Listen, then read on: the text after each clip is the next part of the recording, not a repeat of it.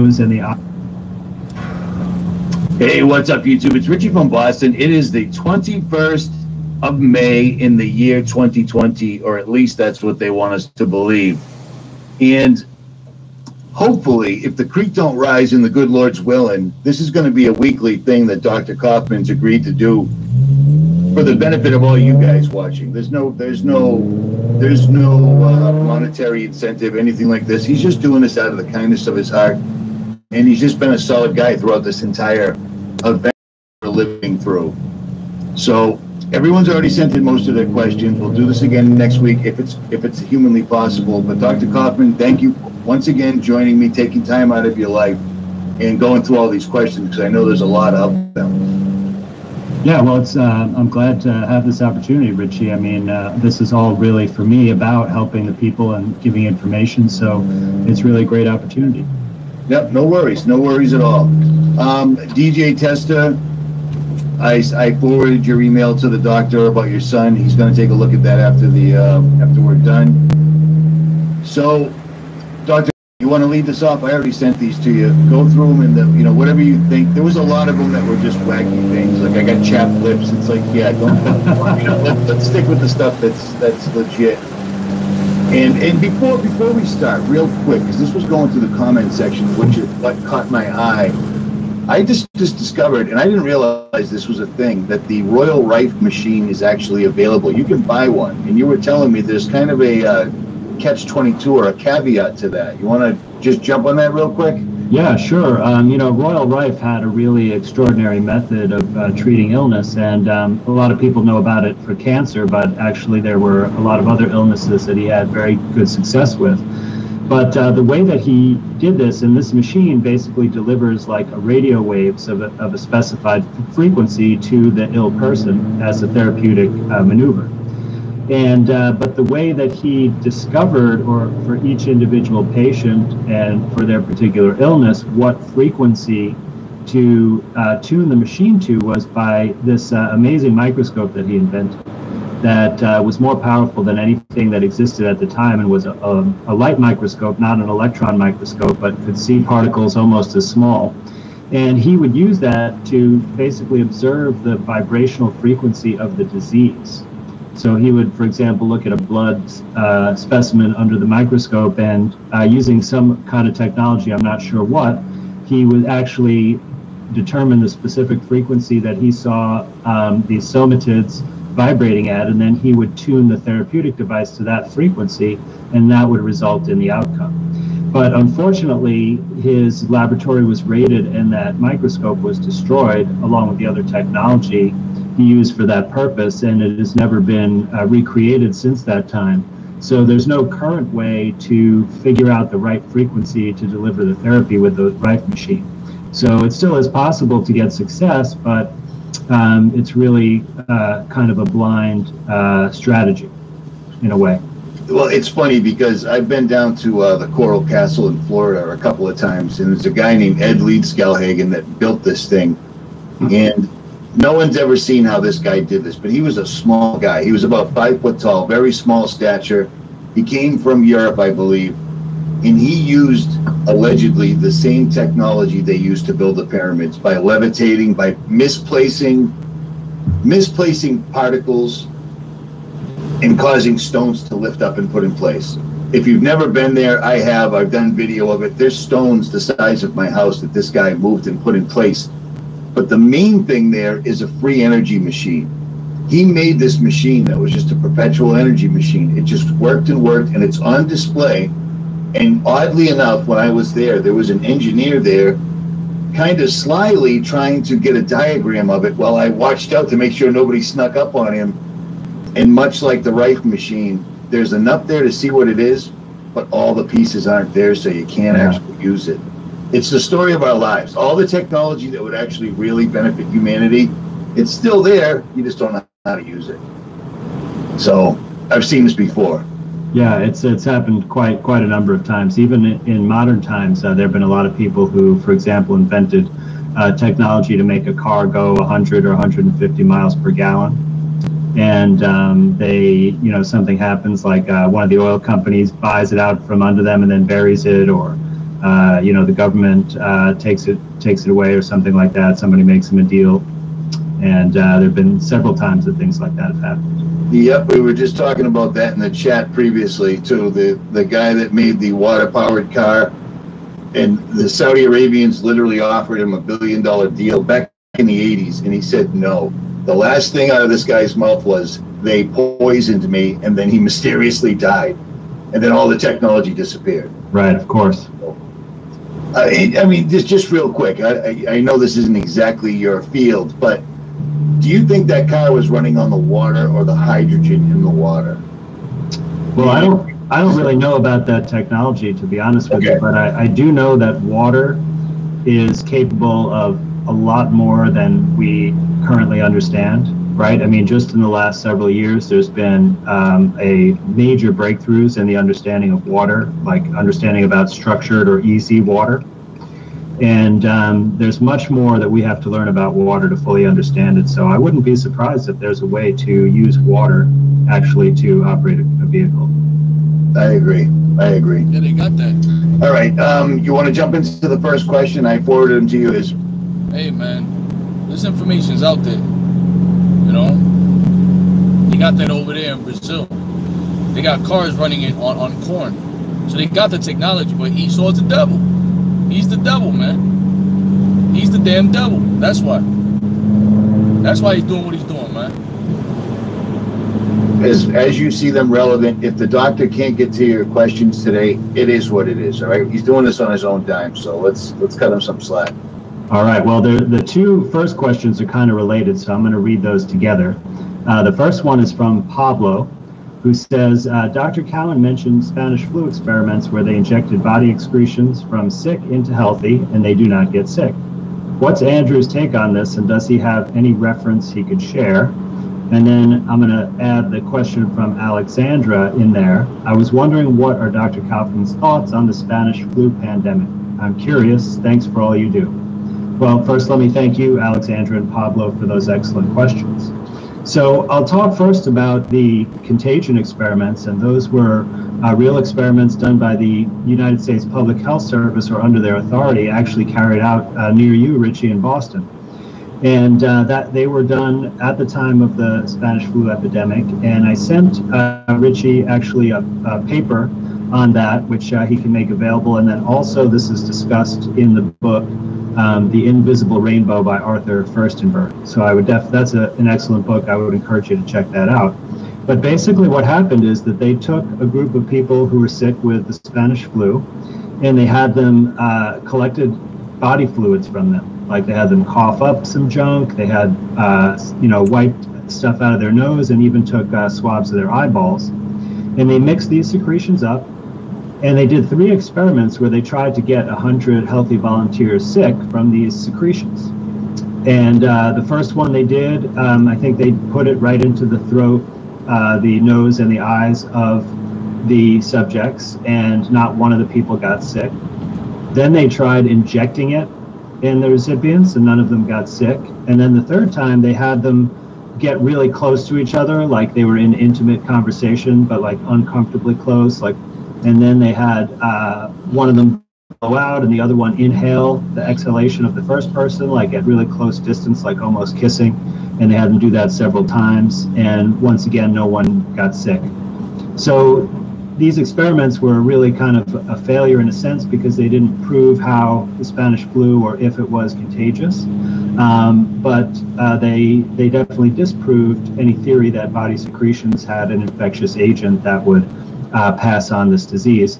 And I'll tell you, there were many other factors about the Spanish flu that argued against any contagion. So uh, one of those things was the rapidity with which people around the world got sick in different places, because that was at a time when there was no air travel.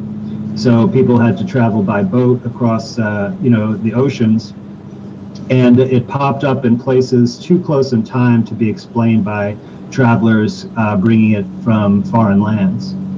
Um, there, the other thing that argues against um, contagion is that the symptoms of the Spanish flu are quite heterogeneous, and different groups and different populations had different constellation of symptoms.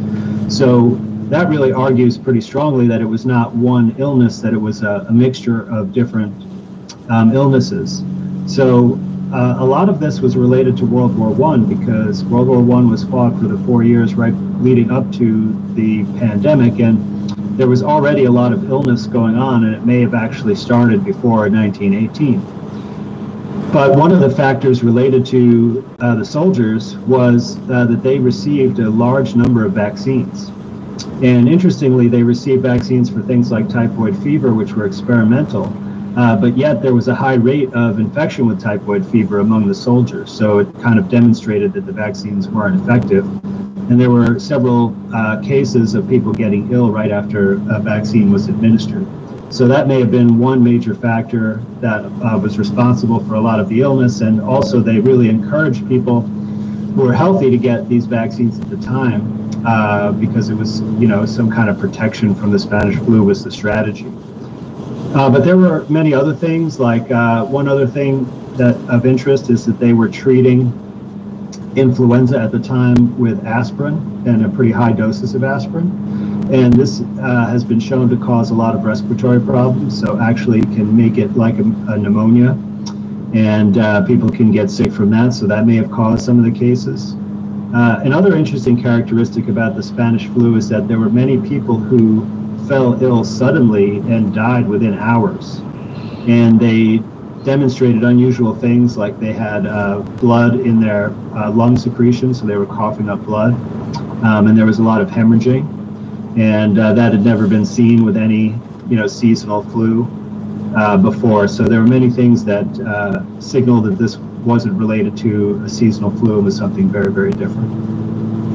So hopefully that covers um, enough information about the Spanish flu pandemic, but I know there's a lot of propaganda about it. And in fact, um, my son had a school assignment where he was supposed to like write a journal article about his experience where, you know, with everything being different in the pandemic, but they gave him a slideshow about uh, the you know 1918 Spanish flu, and it seemed to stress those issues that there was poor evidence for, like contagion. Um, they talked about wearing masks, um, and uh, you know, some, and that it was caused by a virus, even though that's never been proved. And interestingly, at the time of the uh, Spanish flu, they thought it was caused by a bacteria, um, and they even did some uh, had some treatments related to that bacteria that they had tested and even deployed. I think they had a, but it wasn't successful at the time. So it's interesting how how things change about the story over time. Now, when they thought it was caused by a bacteria, is that the same thing that uh, David Parker and Dawn Lester equate to seeing firemen around a burning house and thinking the firemen were responsible for the fire? Is that Yeah. the same? Is that the same analogy? Yeah, well, that's the whole reason why bacteria got implicated in disease in the first place, because they would have a sick person and take tissue from the, you know, that was affected by their illness, and then look at it under a microscope and see bacteria present. And they just assumed that the bacteria played a, a causative role in the disease rather than, you know, having an open mind and saying, oh, what are the bacteria doing there? Uh, because the, the true role of the bacteria is much more akin to the fire uh, that they're they're helping to put the fire out and clean things up, um, not not causing the disease in the first place. So, I mean, this is this is way back then when tel- when telescopes, when microscopes were only as powerful enough where they could only see bacteria. They based it on their best knowledge available at the time. In your opinion, the crisis that we're living through right now, the people that are in charge, they damn well know that this is a hoax. I mean, it's been clicking for almost six months now, and there is still yet to be a pandemic. Unless, of course, you watch the mainstream news. Mainstream news, everything is horribly wrong. But other than that, everything's fine. I mean, these guys are well aware that they're pulling this off. I mean, would you agree, or am I am I wrong? Say it. Well, the people pulling it off are certainly aware. I mean, anyone who's uh, of a mind to consider that possibility would have to realize it pretty quickly. During the Spanish flu, and I've seen a couple of interviews uh, with survivors. You know, they described basically there were so many dead bodies that they were just overwhelmed and they had to bury them in people's backyards because the cemeteries were all full right? And that's what they experienced. Uh, you know, that's what a pandemic is. But if you ask people today, nobody's had that experience. Not one body has had to be buried outside of normal funeral home. Well, they tried to push the it, look look at the island in New York. They neglected to tell people that that island's been used for burial for time immemorial, literally, and they also neglected to tell them that they cut the uh, the the time in half to claim a body. Originally, it was 30 days, but during the crisis, they dropped it down to 15. You know what I mean? So they, they Yeah. th- there's no context to the information they're putting out. Because why bother? Who cares? It's Americans. Well, you know, this most of these things are like public uh, publicity stunts. Oh no, no doubt. Um, one one question. Somebody, I had it up there for a minute. Um, is there anything like the one that comes up the most is herpes? Is that? I mean, is that? Uh, would would you say? Is there anything that's actually a con- contagion, a true contagion? no, absolutely not. And um, well, I, I mean, you saying with herpes or in general? No, I'm just eh, with herpes, but in general, yeah. Right. I mean, you know, you could pass the cooties from one person to another. Right. Right. So, but um, no, herpes is very misunderstood, and um, you know, it's not related to a virus. If you if you look at the what the medical community says about it, though, is they basically say that over 90% of the population is has a positive herpes test. Okay, so that means almost everybody has the virus if there if there really is one, and so why do only a few people get herpes outbreaks if everybody has this virus in them? You know, that that's one thing that doesn't really make sense. But also, it couldn't be sexually transmitted if it's in over 90% of the population because that would mean that 9 out of 10 people have to have sex with each other, uh-huh. right? And so when there's sexual transmission, there's a, a clearly a mathematical progression that you can see that uh, that gives you a good indication that that's what it is, and it doesn't fit uh, at all for herpes and for many other things like HIV as well. And uh, so you have this situation where you basically have this test, which is really meaningless, but we're saying, you know, we're told that this is a test for the virus and that this disease is caused by a virus. But actually, what really causes uh, herpes outbreaks is a weakness in the skin, uh, which is usually related to a deficiency in collagen. Um, collagen deficiency is extremely common in our culture because we don't um, eat the parts of the meat anymore that contain the collagen, the connective tissue, like the feet and the ears and the, the knees, uh, like the ham hocks, for example. Um, but that's what the trend in bone broth that began a few years ago was really about. It was a way uh, for us to get collagen back into the diet. And your body can make its own collagen, but it has a really hard time keeping up with the full demand. And if you put excess stress on your body, like you're an athlete, for example, or you're a vegan and you don't eat quite the right foods, then you can't body can't make as much. So you get into this situation where you just don't have quite enough, and it can cause a number of different problems. Like think about all of the connective tissue in your body can be affected. So like skin, hair, and nails um, on the surface, and then your bones and bone healing, even issues with your teeth and gums. Um, it can even affect your intestines uh, because all, all these materials are all made uh, of a collagen uh, structure.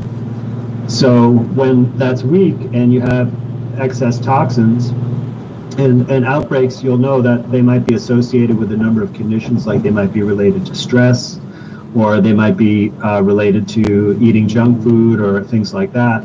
And basically, something that liberates toxins in your body. And since your skin is weak, your body basically erupts the toxins out through the skin.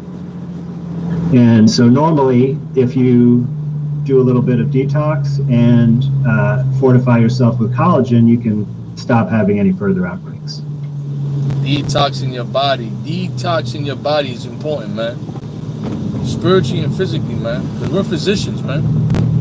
You're supposed to know these things, you know? You gotta take care of your body. You gotta take care of yourself, man. Your calling's the energy source, you know? Check out this comment, doctor. Is that is that accurate? You think you cannot cure a virus ever? A virus lays dormant in the vague, vagus nerve. Once it replicates with your RNA, you will never rid the body of it. Is that accurate or? Well, uh, my understanding is that there's really not any evidence uh, that a virus, the way it explains, exists. So, in other words, that something comes from the outside that has genetic material and multiplies in our cells as some kind of parasite. Like, I haven't really found any evidence that that exists at all. Guy, I was just about to answer this comment. This happens all the time, this particular one, and I actually think I already know the answer to this, so I'm confused now. How do people catch the flu or cold if viruses aren't airborne? It's basically, I mean, that it's worst. it's the coldest out, when the days are the shortest, the least amount of sunlight, et cetera, et cetera, and most people eat prepared foods, foods that come in a box, you know, chocolate flavored chemicals, magnetic cereal, etc. Your body's an amazing device and it self-regulates and being sick is part of that. It's just a natural thing that happens. The less garbage you eat, the less you get sick. I haven't been sick in years. I'm probably going to get sick now that I said that, but I mean, I don't drink fluoride. I make you know I don't drink anything out of a bottle because everything has fluoride in it now, and I try not to eat anything that comes out of a box. So I don't get sick very often. Well, likewise, I hardly get sick either. First and foremost, prayer. Taking your herbs, your black seed oil, your oregano oil, your apple cider vinegar, your, your lemons. I hardly get sick, man. I hardly get sick, man. Got built up your immune system. Don't put your trust in Egypt, man. Woe unto you that put trust in Egypt, man. Take care of your body, man. Use this wisdom. Apply this wisdom. Actually, you're halfway there. I mean, those are two uh, very good rules. And you know, it's funny that people say, well, how do you catch a cold or catch the flu? Well, what's the proof that you catch those things? You know, if you look at traditional uh, Chinese medicine and Indian medicine, which is called Ayurvedic medicine, they had no concept of contagion in those cultures. And they observed the same exact phenomena that we did that people have seasonal colds and other seasonal illnesses. And, you know, the way I look at this is our body works in cycles. And the cycle right we know we have our sleep wake cycle which is time to the to the sun the light cycles and we have seasonal cycles as well. And so our upper airway uh, detoxifies itself in the cold season. And uh, we're more likely to do that if we're exposed to more toxins, like we're talking about, but we're all exposed to them. And, you know, every piece of air pollution that we breathe comes in through our nose and mouth, and it gets filtered out into those tissues. And that stuff builds up over a year. It says nose and mouth. what are people doing now? They're covering their faces now. They tell you to cover your face, cover your face, man. What your body breathes in and then breathes out those toxins. What you're doing is you're breathing it back in. So a lot more people gonna get sick, man. Even doctors and nurses, when they come out the medical rooms, they take off the mask. They don't have the mask on all day. There it is, you got assholes out here walking around with the mask all day on, man. Stupid, man. So there's like a biological cycle that we purge it in the winter and when we're around other people going through that cycle there may be some empathic mechanism that alerts the other people in their proximity that oh to you know start that biological program. But you know that it's not anywhere near 100% you know that's one of the the real uh, kickers about this contagion theory is that um, right now like we're told that this is so contagious that we can't even go near people right? But what about all the healthcare workers that are in proximity to these people day in and day that they're all sick. Yeah, the only the only thing I'm hearing from healthcare workers at all, and I speak to a lot of them, is they're losing their job. That's yeah. it, and they're losing exactly. their jobs in incredibly shady ways. Not like, hey, listen, we due to the current crisis, we have to lay you off. They're looking, they're they're making up new rules to go along with this new paradigm, and then firing people that have been there for 20 years. I well, mean, you know, that recently happened to a woman that I dated for a long time. I mean, out of the blue, out of the blue, textbook worker lost her job because they, you know, they moved around the shells and she picked the wrong one. A terrible analogy, but whatever. Well, no, it sounds like they might be trying to get rid of the highest paid uh, staff, so that because you know they're they're really just scrambling to stay in business, and um, you know. Uh, don't treat people well in, in my experience. So that's not surprising, but I wouldn't be, you know, everything always comes down to and so if they find someone's been there for 20 years, they're probably want new people in too. They don't want because I'm sure lots of people are think in the new way. You know what I mean? Yeah, yeah, so, you're right. new graduates, people naive that haven't uh, been around the block. Crazy. All right. Well, that was. You want to jump on to the next question? Yeah, please. Okay. So um, here, this one is from Wendy Muenchow. Hopefully, I said that right. Uh, can you ask Dr. Kaufman about things like shingles virus? I've listened to all your videos with him and others, and I completely agree it's all a farce. But I'm wondering what he thinks causes something like that bacteria, allergy, something else. So maybe I can answer this question a little bit more generally because I know it's it's really hard that we've been taught this uh, germ theory based uh, uh, you know uh, disease um, kind of material since we were real young, you know, and mom said, uh, cover your mouth when you cough, you know, don't go around your sister, she'll get you sick. So it's so ingrained in us that it's hard to, you know, conceive um, of, of something else. But, you know, it's important to, to just know that um, it's never been proven that there's a virus that causes any of these diseases. So let me just tell you in general what are the real uh, into the way I see things. So there are really four main causes, and up to, by far, and this affects almost everyone who comes to me for consultation, is um, toxic substances, number one, and malnutrition, number two. So malnutrition, for example, can be like the collagen deficiency that I just spoke of, but it can uh, be in almost any area. Uh, then number three would be psychological shock, uh, which can cause both psychological and physical illness. Um, number four is electromagnetic and ionizing radiation. And then the fifth one, which is very, very minor, is uh, genetic uh, illness, but that is actually usually caused by exposure to toxins or malnutrition, um, and usually can be treated by environmental uh, changes. Uh, but it, it, does affect uh, a very small number of people. So really, that covers all disease. So shingles would have to be uh, one of those. That's why Jake gets so sick in the hood. Jake gets so sick in the hood, man, because the environment is literally unhealthy. Being in poverty, being in the hood, it's, it's unhealthy, man. It's not healthy for you. That's not what the Lord intended. It's how He intended us to live. It's a sickness, man. It's an illness. That's why Jake is jacked up. The congestion, the air is polluted. The pollution from the cars, the poverty, mix that in with poverty. That's why Jake is so sick uh, one of those options. And it does seem to affect the nervous system, um, shingles, but you know what they say it causes shingles, and the vaccine for chickenpox and shingles doesn't really. So um, I think it most likely it's related to a toxin. Somebody just asked a question. Are you working on a paper with Cal Washington? Did I say that right?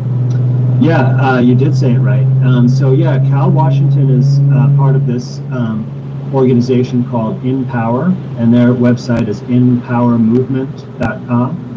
And uh, I did a little bit of consulting to help with the, some of the scientific aspects, but mostly they have been the brilliant uh, minds that came up with this incredible document called the Notice of Liability. And this is uh, one legal strategy that I think is a pretty solid one that will uh, help you avoid getting a vaccine. And they also have one for 5G that, that they're working on. That's I, I don't know if that one is available right now yet, but it will be in the near future. So there you have the website, Richie, and you can go on there and they have uh, done some recent webinars where they explain the process. And uh, the membership uh, is very affordable, which gives you access to all the documents and uh, all their support. So if that's something that's important to you, I would definitely recommend um, uh, investigating their strategy. It's, it's a very solid one, and I definitely support it. What did you think when you saw Dershowitz up there telling everybody the government has every right in the world to inject you? There's just nothing you can do about it. People were emailing me left and right, and I'm like, I'm not surprised. I'm not. That's I I I didn't even have to hear him say anything to know that's what he was going to say. That's the entire end game here. That's what all this is all about, man. Well, it's so interesting how Dershowitz has sort of uh, changed his role in the public eye so severely over the years. I thought he was uh, dead. he did. maybe it's a, maybe it's an imposter. It Could be. But uh, nonetheless, you know, I think they are trying to change the, the legal theory that governs our nation. From one of uh, you know individual responsibility and um, uh, police power to govern safety over to one that it's like the community is more important than the individual.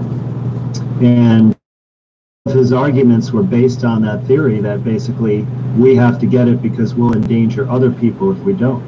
And really that goes against uh, medical science um, it goes against common sense because. Oh, I'm so glad. I was just going to say. Go ahead. I was going to say. Yeah, well, I mean, if the vaccine protects you, then what do you have to worry about what anybody else is doing? You know, right. the risk would be on them. Right. Wouldn't it theoretically, if all things were accurate, 50% has the vaccine, 50% doesn't, everyone would be all right? I mean, it has to be 100% saturation. It makes no sense. Whatever happened to survival of the fittest? Listen, this whole idea of herd immunity is really a bunch of uh, BS, to be honest with you. And first of all, it's calling us herd animals, right? Basically, we're cattle, we are in their control, we can be manipulated. And I think that's a big. Goyim, but yeah, yeah I think that's yeah, I think that's a big part of what the term really refers to. But what it, you know, it's purely theoretical, and you know, I don't really know how it even makes sense, but what it says is basically if a certain threshold of the population is immune to a certain, you know, uh, communicable illness, which they don't exist anyway, um, then everybody will be immune or the illness can't uh, manifest itself. Right, but the, but they they usually quote numbers around 90% or higher. And we've never ever had a population anywhere close to that, yet they've said that sort of some diseases have been eradicated because of herd immunity. So, so, and the reason we haven't had that is because, like, let's say for measles, for example, the uh, so-called immunity from a measles vaccine wears off in five to 10 years. So only children get this vaccine. So that means virtually all adults are not immune, not immune to measles, right? And children only make up a very small percentage of the population, something like 15%. So if we have only 15% of the population is immune, but yet we don't have uh, real significant outbreaks, and people say we've achieved herd immunity, then obviously it's completely bogus because we have nowhere near the percent they say is required to achieve that. So anytime I hear, um, you know, the term herd immunity, I just kind of turn off my my listening, to be honest with you it's it's sometimes you have to because you can't argue with everyone all the time. I mean, from when I first spoke to you way back in the old days till now, can you believe that this is still moving forward? In the I mean, it's still moving forward. They shut down the world, and people don't even seem to understand the economic consequences that are still coming. The Federal Reserve is simply holding everything up. Everything seems to be fine, but it's going to come crashing down. It has to. Yeah, well, you know that the value of the dollar is uh, is, yep. is, artificially uh, propped up right now. You know, and because of the stimulus money that has gone to provide aid to the big corporations, they've been able to maintain the stock market, you know, at its current level. But uh, it can't sustain because you know people are not consuming, the economy's not moving. So you know, I think that we're going to see some really significant inflation, and I think the stock market is going to be really hurting um, in the coming months. Sometimes I'm just surprised it's taking so long to see the changes. Right. Well, they got. I mean, this is this this this entire thing was orchestrated a long time ago. Hey, the scriptures say, "Though it tarry, wait for it, for it shall surely come." I'm surprised too. The shit hasn't collapsed, man. I'm really surprised. But we in the Most High's time. The days are speeding up, though, man. You know. I'm surprised it hasn't collapsed yet. But when you look at what's going on, hey, man, we're almost in June, halfway done with the year, man. So we in the Most High's time. They're playing it out. They're playing it out perfectly, in my opinion. It's it. I can't. They have to be stunned how little resistance they got. How many people completely bought this hook, line, and sinker? It's a paid vacation. I get a twelve hundred dollar check. I'd be pissed if they sent me a twelve hundred dollar check. you know, I, I, don't know. I mean, I don't know. You can't. That, not, not in New York, not in Boston. Twelve hundred dollars ain't going to do anything for you. It's just annoying, but. Yeah, no, I, I definitely don't want their money. I don't either. Not at all. You uh, you want to move on to the next one? Yeah, let's do that. All okay, right. so this one comes from uh, Iggy from South Africa, and this is kind of an interesting question. So I might have to summarize a little bit because it was too long to, to read on the air. But But here goes. So, what if Bill Gates is playing the 50 50 game with the whole world? He wants us to think that it's the mark of the beast, and here comes the perfect reverse psychology. It most definitely is. Those who take the vaccine will survive the real pandemic, but at the cost of their souls. Diabolically ingenious plan, good riddance to the true believers because sadly many Christians will take it, and then some. Now, my question to Dr. Kaufman is if this is correct, what out there can they um, I don't think that the vaccine can really save us from anything because um, vaccines have never been proven to prevent disease. And uh, as you, uh, I think, can see, my, my position is that uh, there's no virus that has been shown to cause disease. Now, they definitely can use the vaccine to cause disease, for sure. Um, they simply include toxic materials, and you know anything that enters us through an injection is much more toxic than if it gets uh, than if we eat it. Uh, you hear what he said? Anything that gets injected. That's why in the law, the scriptures tell you not to cut into the flesh. You know, that's why the Most High created a, a, a digestive system. So when you take these injections, it's going to be even do more more damage, man. You're not supposed to cut into your flesh, man. These vaccines, man. Bypassing your digestive system. This is why the Most High created the digestive system. But this man want to be God, man. Causing all types of hell and damage in his mission. Being the devil. Yeah. So this is definitely a way they could deliver a lot of things from your health. But I think if uh, you know, the powers of empire wanted to cause a real epidemic, they would simply um, expose us to some kind of poisonous material. And I think this would be very easy to do, and it could be done in a number of ways. It could be done through the water supply, right? Like look at what happened um, in Michigan with the lead uh, pipes. Right. Right. It could happen through um, the geoengineering chemtrails from the sky. They could uh, drop down something particularly toxic, fly at a lower altitude, so it's more likely to uh, be breathed in. Right. There's many, many things that they could uh, do. They could have sanitation trucks come around and spray chemicals, right, which they do from time to time. They say they spray things for mosquitoes, and um, you know, they used. I used to live near a big landfill in Staten Island, and they would spray like pine sol on the streets in the summer, so you wouldn't smell the garbage as much when it was really hot. So you know, there are many ways they could deploy uh, some kind of poison to make a lot of people sick. Yep. That's what, what that's what worried me is that when they do the second wave, in order to reinforce it, I can just simply imagine them hitting a small town with anthrax or something to that effect and just killing everybody. That'd be more than enough to completely get everybody back into the into line again. Yep. Yeah. You know, and then point to all the naysayers. See, we told you there was a disease. Look at this. This whole town, even the plants died. Right, right. You know what I mean? right. I can see them saying that, and it would work. As ridiculous as that sounds. Yeah. No, no. I mean, that would be funny if the plants died. I mean, we know that papayas can get coronavirus, so maybe that would make sense. Isn't that amazing? And then the mainstream calls him out, and, and Americans are like, that stupid president of Kenya. You know, it's amazing how when other quote unquote elected officials call somebody out and actually provide proof, like, oh, they've got a, they can cause bad weather. They have an earthquake machine. A princess in Japan talked about the earthquake machine. They were supposed to sign an earthquake directly under Fukushima.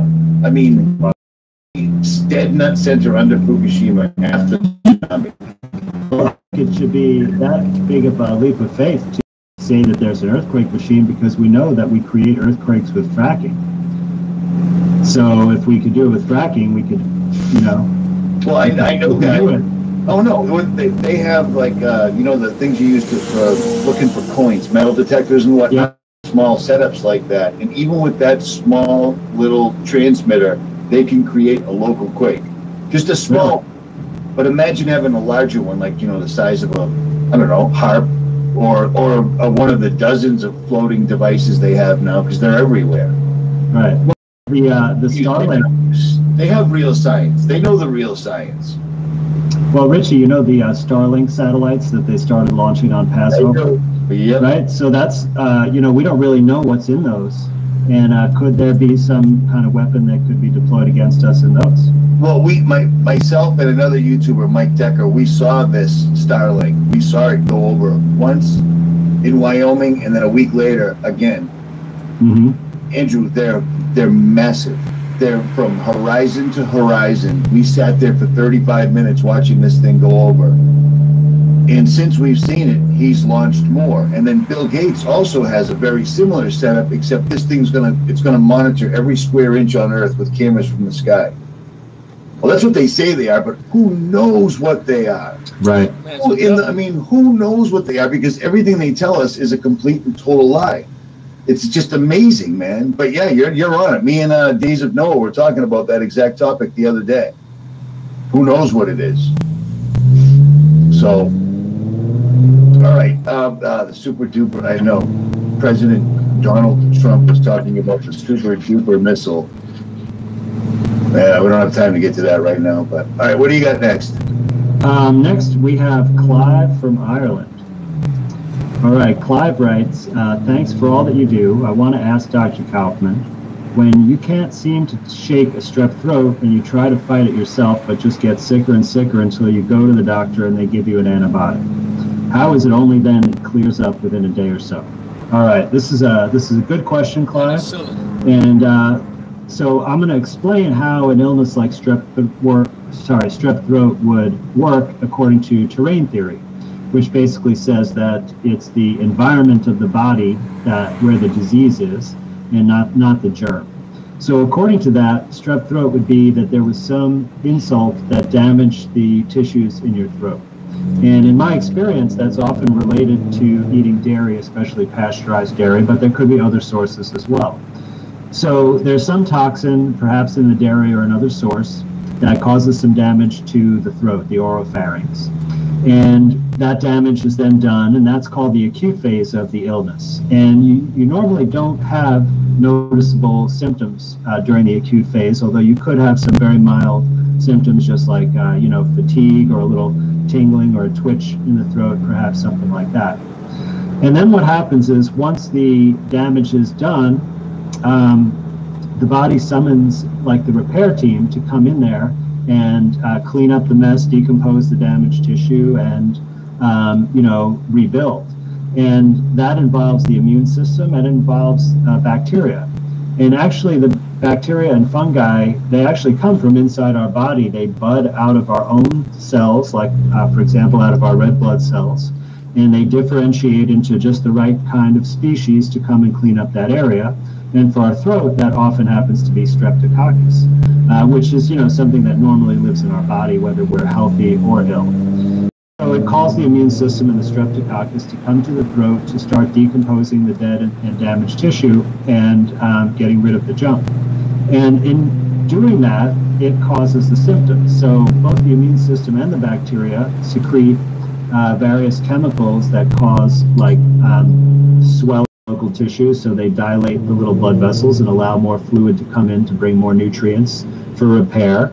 And they create secretions to drain away the dead debris and decomposing um, parts uh, to get out of the body. So that would be, you know, like the pus and other secretions that irritate your skin and make you uncomfortable and drip down your throat and cause all the symptoms.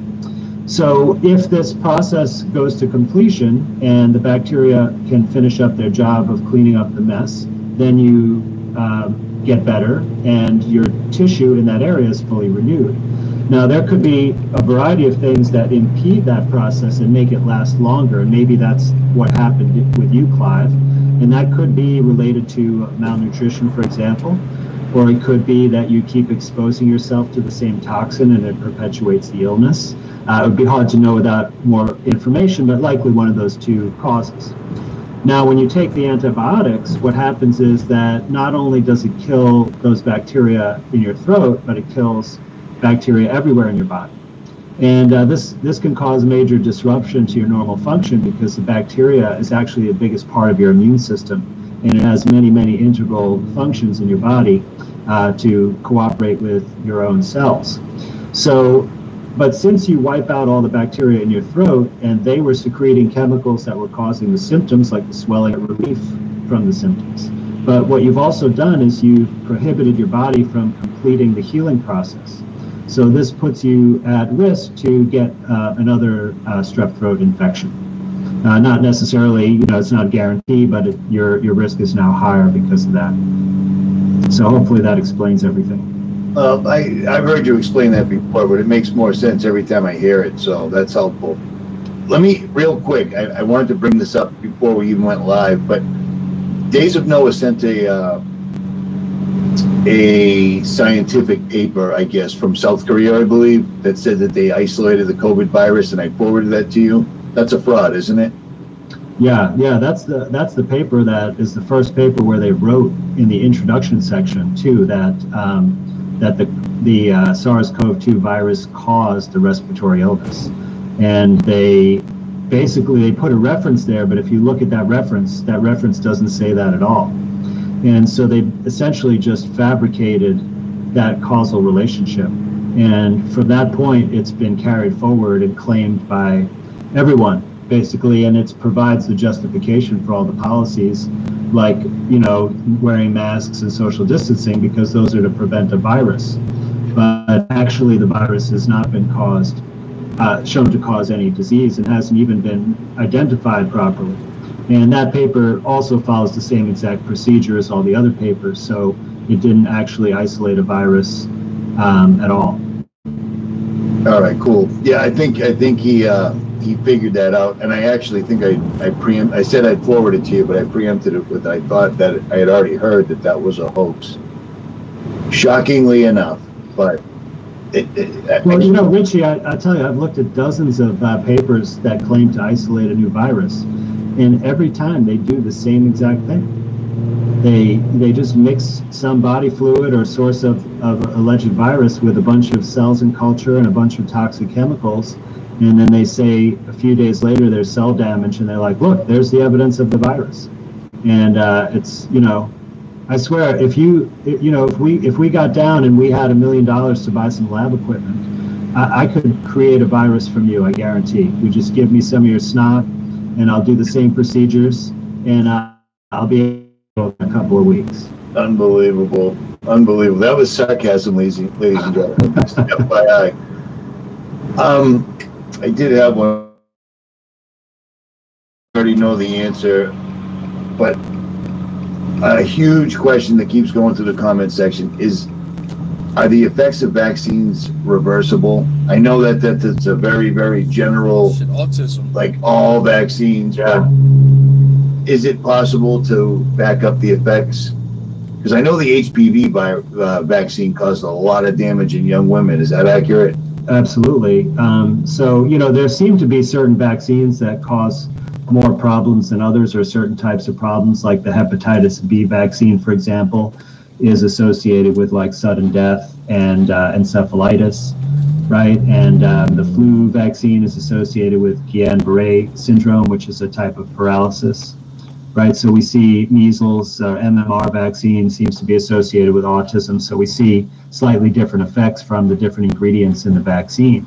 Um, so it, it, I can't generalize completely, but I would have to say that it's very, very difficult to um, treat or mitigate all of the effects. And a big reason for this is because one of the main toxicities from vaccines is the aluminum and perhaps mercury as well. But mercury is not in that many vaccines anymore.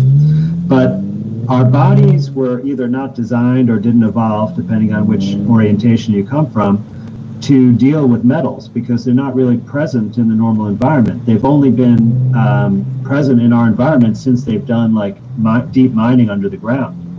Right, so if it's things like aluminum, we're not really present in the environment, so our bodies don't have a good way of dealing with it we, we do have a good way of dealing with all the normal toxins that we expect to find in our environment, but we don't have it for these heavy metals like aluminum. So I think this is the reason why it really causes so many problems and it's so misunderstood of how it affects the body.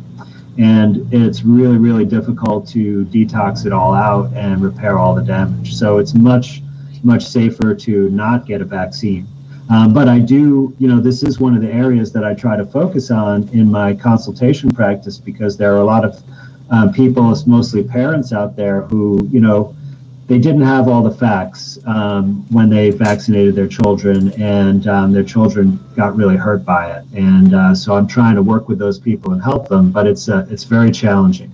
There's uh, there's no easy answers and there's no guarantees.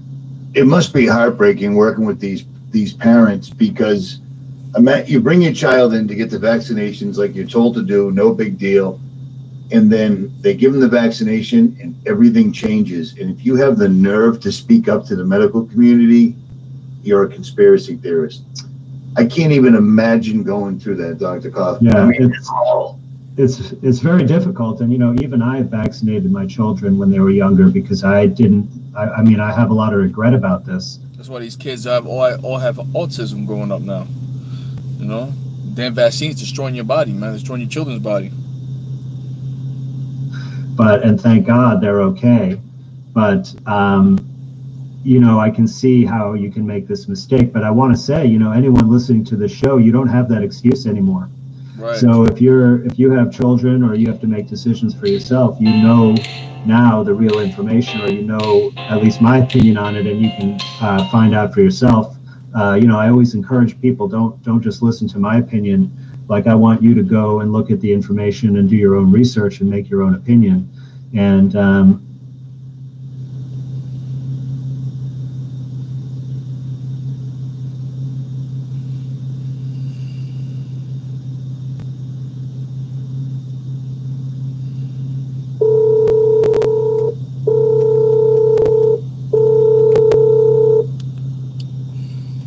Just lock family. I have to answer that call. Vaccination, vaccinate supposed to work as medicine. Medicine is here to heal, not cause illness. Case closed. Gun. Psalms 104 tells you that the Lord created the herbs off the herb as meat to heal our bodies, man. You know? You shall not make any cuttings in your flesh for the dead, nor print any marks upon you, for I am the Lord. Exactly, man. Those vaccinations, anything you put inside your body with a shot of vaccination, destroying your body, man. You know?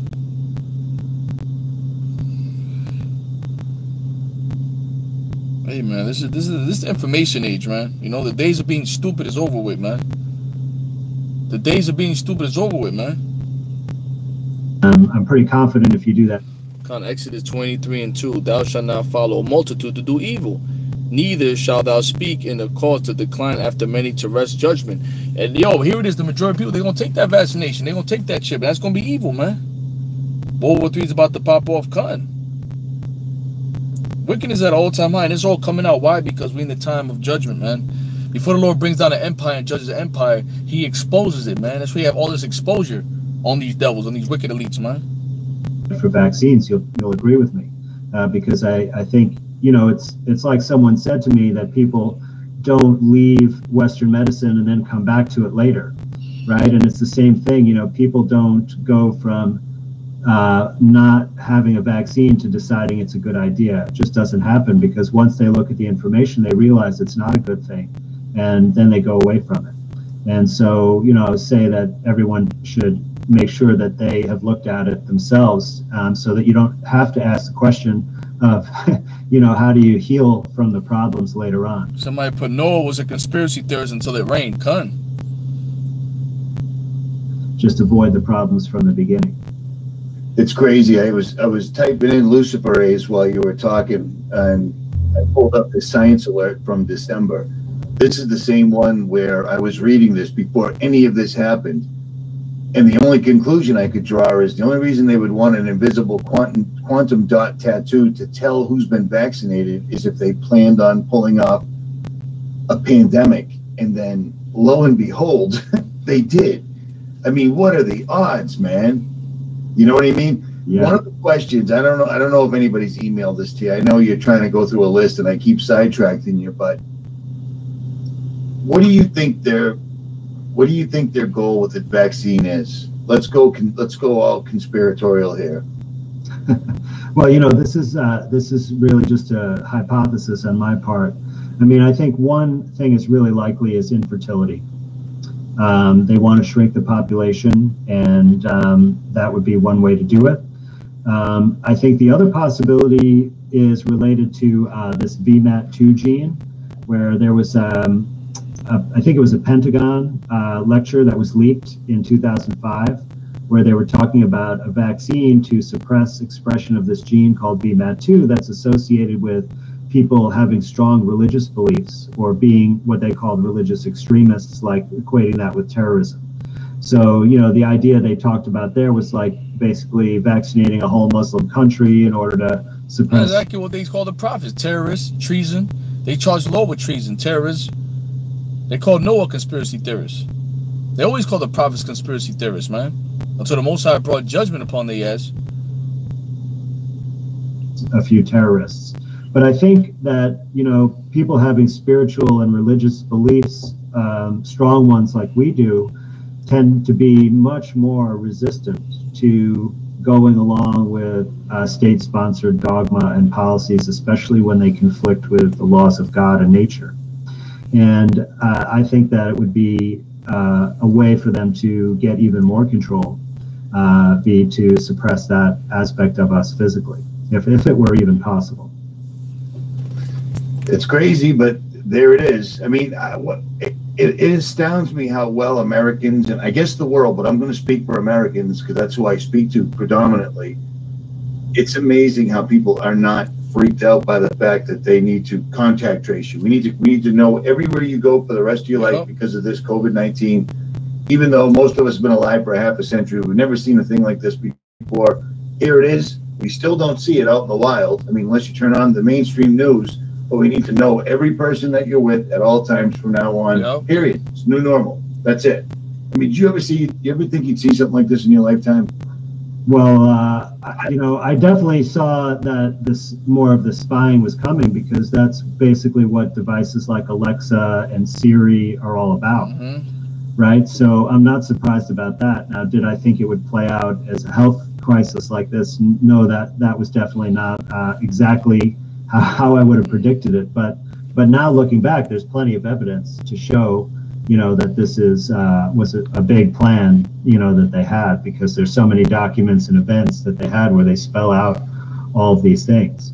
But you know, I think I think it's a simple equation that if people are in fear of getting sick, then it then they are willing to give up their privacy rights to be tracked. Right? It's just like with 9/11 um, people were afraid that terrorists are going to come and ta- attack us in our homes.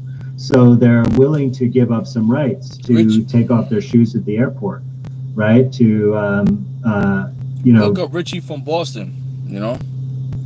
I'll put the link on the channel. Be strip searched if need be. And uh, because of that security concern, and that, you know, that's the, it's the problem reaction solution, right? The reaction has to be fear. And then there's the solution, right? To alleviate the fear, well, make sure you don't go around anyone else with the illness. But really, it's not about that at all. It's about knowing everything about it, knowing everything about.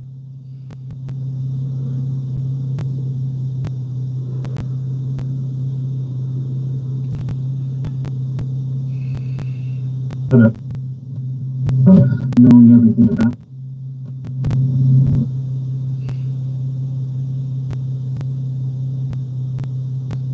about knowing everything about us so that they can control our behavior. It's amazing, too, that the only good effect of having this unbelievable pandemic that's been gripping the world for six months is terrorism stopped. Terrorists no longer want to blow themselves up and kill other people because they don't want to catch COVID 19. So that's the bright side. And the math- is that the real reason, or is it because uh, the U.S. told them to stop? Well, the U.S. They're, they're paying them probably, right? Of course, well, they're, they're busy right now. There's no, there's no mercenary, mercenaries, contract killers. There's no more school shootings. There's no more mass shootings. There's no more terrorism because they're working on this one, one thing right now. They got a lot of balls in the air right now. So, all right, you got time for one more? Yeah, of course. All right. Do you want me to go with the one on my page, or you got one for me? No, no, go ahead. Go ahead. Yeah, I've just got one more from uh, Mike and it said, uh, "Oh yeah, yeah. Could you have Dr. Kaufman take a look at this crazy internal Amazon email I got? I work nights at an Amazon warehouse in Massachusetts, and they sent this bonkers crap to me. Uh, why would anybody say this? so this is a, quite an interesting and unusual question, and uh, you know I wish we had Mike um, available to ask him a little bit more about his experience at Amazon and what it's uh, been like through this pandemic. But nonetheless, he was sent uh, looks like a text message saying uh, titled 5G does not spread COVID, and it was uh, some wording instructing the employees not to worry about 5G, but that COVID spread through respiratory secretions and, and such, like they say. Amazon sent one of their, or they sent a mass text to all their employees saying this. That that's the implication. Uh, that's how I interpret it. Yeah. Wow. Wow. So I'll tell so, you what. I'll tell you what. 5G. We we covered this. Every channel covered this. Coming up to you know the, the last year. 5G. 5G. Uh, the guys that understand it, the guys that put it in, blah, blah, blah. They said it all works as a big system, like a great big net. So they're putting it up, they're putting it up. When it all goes on, it all goes on, and it's going to cause exactly what people are thinking is COVID now. I don't even know if I said that correctly, but I'll tell you what, driving across the country, everything shut down. The only thing that they were doing, the only essential work that you could see absolutely everywhere was installing 5G towers and 5G type apparatus, as well as signs on the side of the road, so the government can give you helpful instructions. Like in Massachusetts, there's signs all over the Massachusetts Turnpike that say practice social distancing and vehicle distancing, because you don't want to, get your car to get too close to another car because you could somehow get sick. But what the car is going to get sick? I don't know. I don't. Why not? If you've already got them social distancing, why not get them vehicle distancing? Why not get them? You know, they're going to just keep pushing, right. pushing. Because well, you want a clear GPS signal, so you don't want anyone's phone too close. Right. Right. Right. Right. It's we're we're, we're in for we're. Oh man, the scriptures say the earth is given to the hand of the wicked. Man, you know we at the end of this thing. Stupidity's at an all time high. It's time to wake up, man. Look up the information, see what's going on, man. You know, we have the end of this thing, man. Wake the fuck up. But as Richie from Boston, man, he puts up good information. You know, and during the day, I've been watching a couple of testimonies from doctors bringing it out, man. Look, man, we have the end of this thing, man. You know, but stay strong. Giving all praises to Yahweh Shem Yahweh Shai. Keep looking up information, man. You know, study to show thyself approved, man. And open your damn eyes. You know, stay strong. Shalom.